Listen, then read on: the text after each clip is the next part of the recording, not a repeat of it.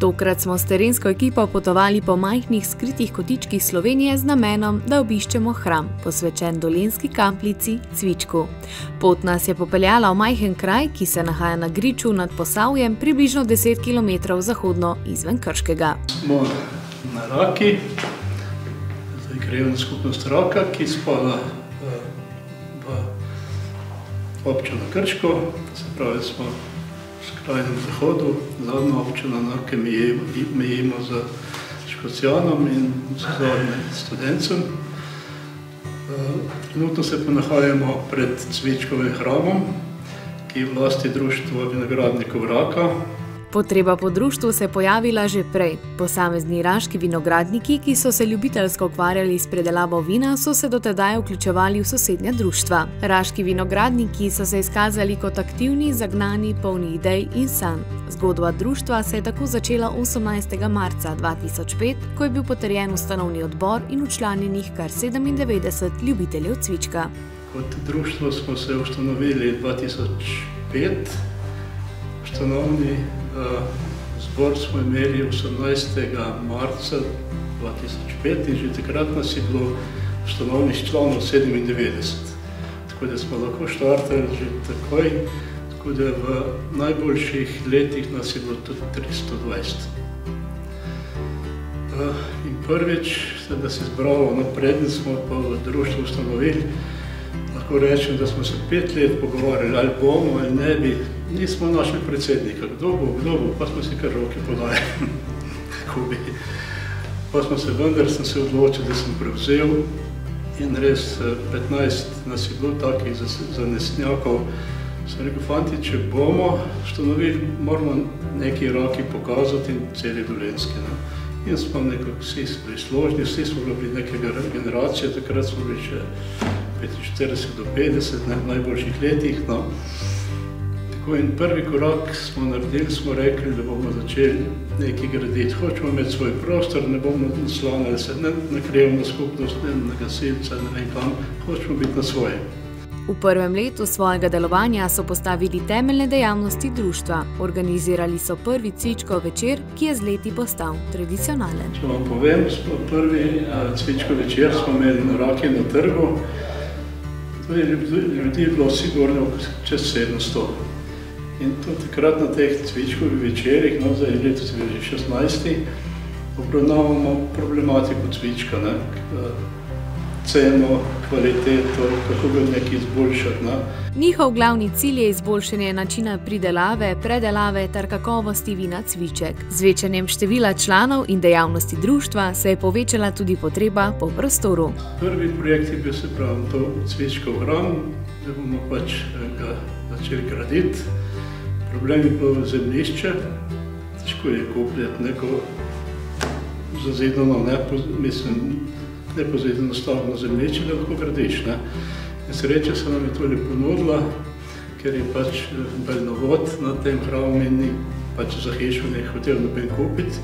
In smo mi to kupili, bilo je zaraščeno, rečem 25 stavlj te zemlje. Po letu dni iskanja se je le našla ustrezna lokacija za prostore. Dne 31. augusta 2007 se je sestal upravni odbor Društva vinogradnikov Raka in soglasno sprejel sklep, da se gre v gradnjo cvičkovega hrama v Cirju pod Rako. Tako so se glasili prvi zapisi v zvezku, ki ga je temeljito vodil tekom celotne gradnje predsednik društva Ivan Vizler. Tisti dan se je tudi prvič zapisalo ime Cvičkov hram. Predsednik društva se spominja, da je bilo na začetku na parceli samo grmovje. In smo začeli to krčiti.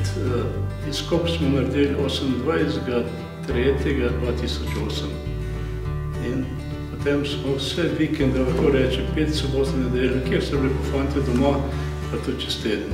Vsak dan je bil nekdo tukaj. Tako da praktično mislim, da je bil ja, za deseti cvičkov večer, je takrat krevni praznik tudi, ne, imamo tudi mi, ta cvičkov večer. 2010 je bilo že uradno otvoritev. To se pravi, dobre dve leti, dve leti pa pol. No in glede na to, da smo bili tukaj predni, nam je Zveza društva vinogradnikov Dolenske podala čast in naziv ambasada cvička, ker Zveza združuje 32 društvo in nobeno društvo ni imelo tega. Ne. To se pravi, da je to prva ambasada cvička, to Dolenska, ali pa če hočete Slovenice, druge ne more biti, ko cviček raste samo na Dolenska. Zgraditi funkcionalen prostor, ki bi ohranjal razvidno vez s preteklostjo in bi zadostoval potrebam društva, ni bilo enostavno. Izveska, v katerem so opisana dela na dan 29. marca 2008, zasledimo zapis. Danes pričenjamo pisati zgodbo o Cvičkovem hramu. Trdno smo prepričani, da bo to zgodba o uspehu. Ampak je bilo prav lušno peljati, ker sem imel res močno ekipo za sabo, tako da ni bilo težav. Tudi veliko podporo smo imeli pri lokalni skupnosti in občini Krško. No. Če vam sam povem, da smo 80 kubikov okroglega lesa porabili, ampak to so nam vse krajani eh, podarili praktično. Oni so sem pokazali nam, Ivan, tale hrast, naš najlepši ga se izber in smo šli posekali, držal ga perali. Mislim, delali smo sami, absolutno. No. Tako da se pravim, in ko je to lokalna skupnost videla, da smo res uh, načelni, pošteni, kuharce so nam malce kuhale, mislim, gospodine naše in žene in aktiv kmečki žemali, vsi, vsi so se nam šli na roke. No. Dobri dve leti od začetka gradnje je leta 2010 na šestem Cvičkovem večeru Cvičkov hram na široko odprl svoje vrata. Ob tej priložnosti je Zveza društev vinogradnikov Dolenske s posebno listino podelila Cvičkovem hramu naziv Prva ambasada Cvička. Društvo vinogradnikov Raka je namreč edino, ki se lahko pohvali z objektom, ki je v celoti namenjeno promociji Cvička. Kaj pomeni ambasada Cvička? Tukaj naj bi se točil najboljši cviček, tukaj se sestankuje in se pogovarjamo o bodočnosti, čeprav trenutno stanje je kar slabo. Mislim, vinogradi se sekajo, mogoče večji prevladujejo in sadijo, ampak mali to pa največji škoda, ker ti strme lege ne, se boje zarasli in Dolenska ne bo več taka, kot, kot je bila. Ne. To je dejstvo. Ne. In to gre strmo vzdolj. Vsako leto slabše kaže. Ne sam gledamo v, v sami zvezi, nas je bilo 5000 članov, zdaj padlo že na 3000 in to v roku dveh, treh let. Naša generacija je s tem živela, vsi smo naredili neke zelence, res če ni imel sosed, se mislil, tudi jaz ti moram imeti pa narediti, pa smo se pa družili, en drugim hodili, probavali, gostirali, pogovarjali se, ne. Zdaj pa tega praktično več ni pri mladih. Z nazivom ambasada cvička pa prihaja tudi odgovornost ohraniti pristnost dobrega, naravnega in zdravega cvička. In spodobi se, da izvemo tudi nekaj več o suhem rdečem vinu, po katerem so poimenovali hram. Ja, cviček, kako je zapisal veliki slovenec Tone Pavček.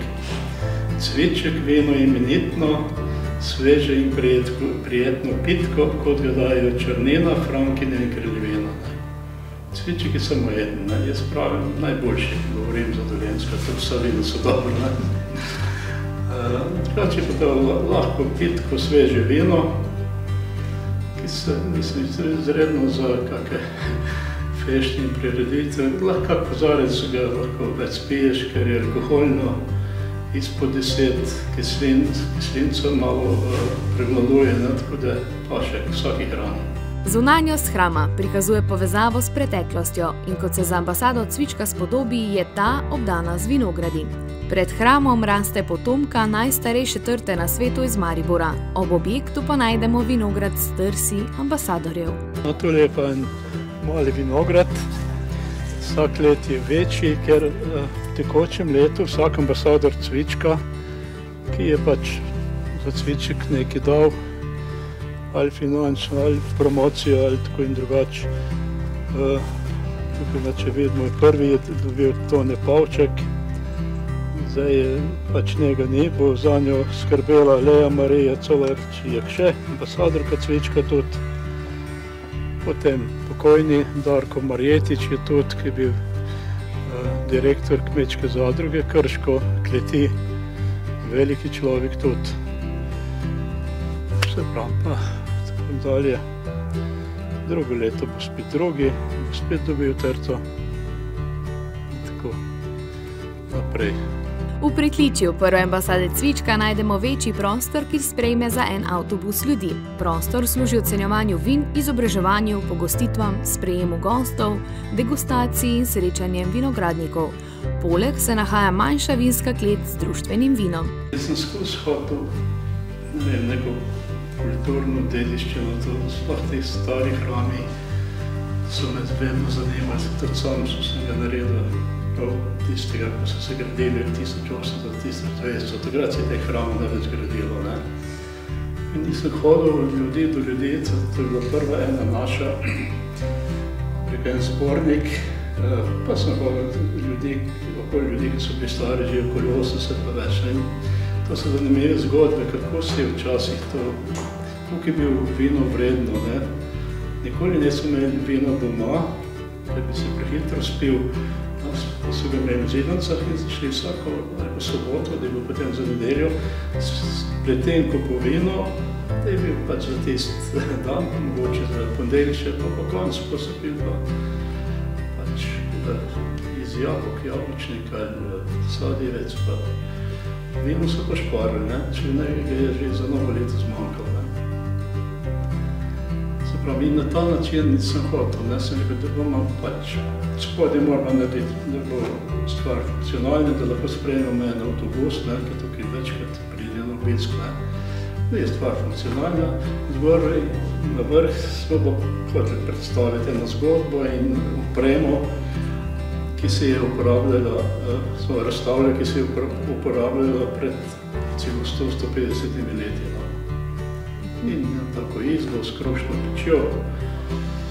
Tako da, če ga pogledate zunaj, kot sam hram, je res malo deluje kot starejši objekt. Zgornje nadstropje je posvečeno zgodovini vinogradništva. Narejeno in opremljeno je po vzoru starih kmečkih hiš z razstavnim prostorom, v katerem se nahajajo stara vinogradniška orodja. Tu v zgornjem prostoru se nahajamo. To naj bi videli večkrat zgodovine, kulturne dediščine.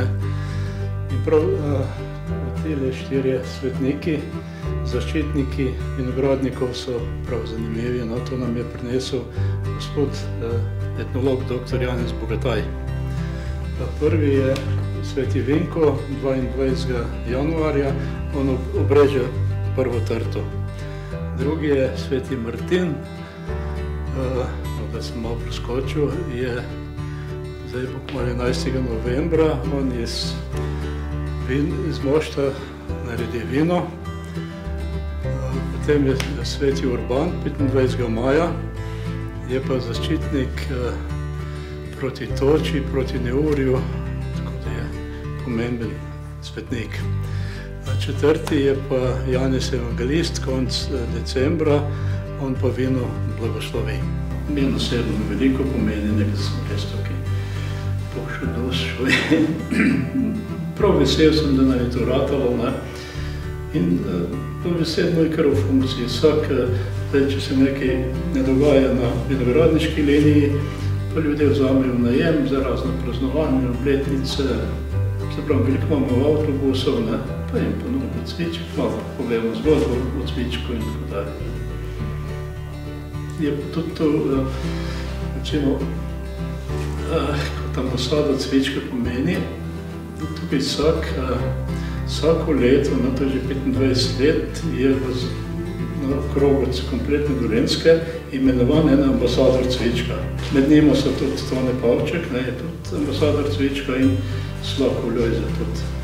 Društvo je v Cvičkovem hramu gostilo kar nekaj posebnih priložnosti in ljudi. Ambasado so tako obiskali Zmago Jelenčič Plemeniti, vodja evropskih društev Vitezov vina in ljudski godec Lojze Slak, ki ga je Cvičkov hram gostil kar dvakrat. On je veliki ambasador Cvička, on je celo življenje pel in špil na Dolenskem. Njemu je Cviček veliko pomenil. Imel je tudi svoje zidanco, tako da In tako so pridne roke članov društva vinogradnikov Raka zgradile in odale pečak v bogato dediščino slovenskega vinogradništva. Če se boste potikali po dolenskih gričih, se le oglasite pri njih, saj bodo z veseljem z vami delili zgodbo o rujni kapljici. Jaz bi bil vesel, no, da bi, trenutno to naše vinogradništvo stagnira, ne, to, kar, kar se tiče manjših vinogradnikov. Želel bi si, da bi, da bi se to vrnil v drugo smer, ne, da bi nekako čas je bilo tega martinovanja pri vsaki hiši, po vseh zidancah, blizu cvičkovi pohodi, da se so še tudi danes. Ne.